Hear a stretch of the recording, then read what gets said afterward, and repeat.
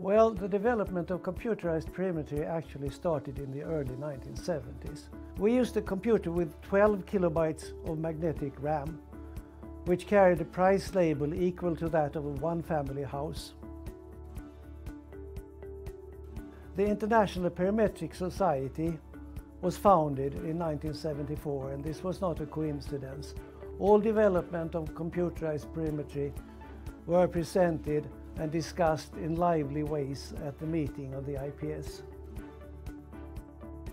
The uh, International Perimetric Society had its fifth meeting, the International Visual Field Symposium, in Sacramento in California in October 1982.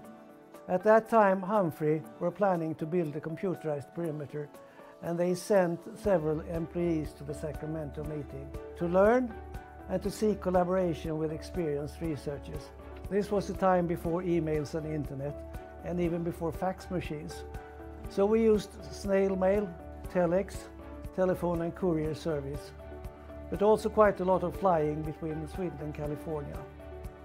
We actually worked quite effectively and the first HFA perimeter was delivered to Malmö for clinical testing in 1984.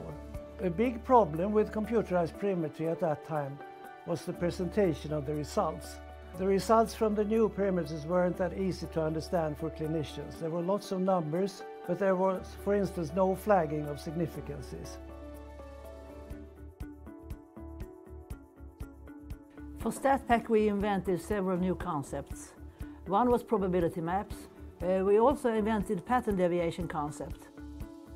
STATPAC includes what is probably the first example of artificial intelligence in ophthalmology, the glaucoma hemifield test.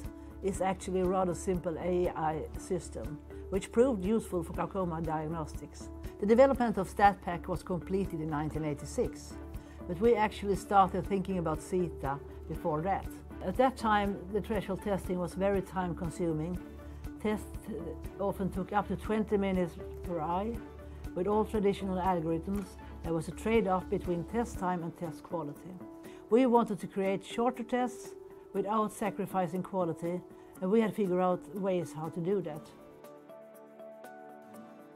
When we stimulated SITA testing on mainframe VAX computers in 1988, each simulated field took more time than what the real test with the patients would do with SITA a few years later.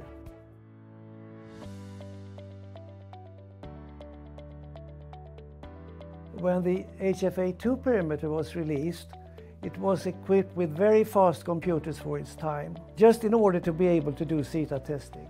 The original SITA tests, SITA Standard and SITA Fast, were released in 1997, 25 years ago. Patients were, of course, as pleased as doctors and nurses of these shorter tests, and SITA Standard was also soon approved by the National Eye Institute for clinical studies. So both tests became global standards.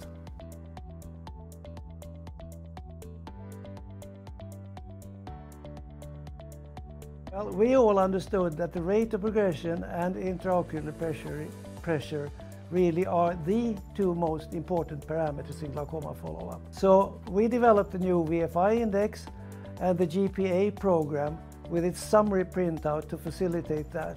But a large percentage of glaucoma patients received much fewer tests than recommended in the guidelines because of lack of resources. That wasn't ideal at all.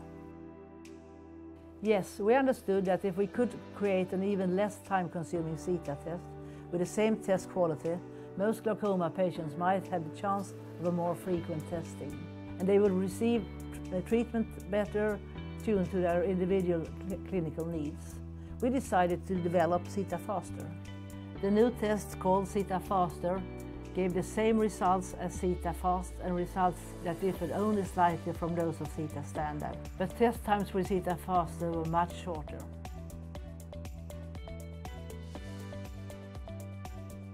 and SITA can be adapted to future needs.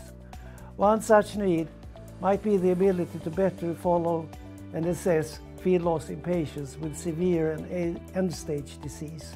We hope that SITA is of help in your daily clinical work.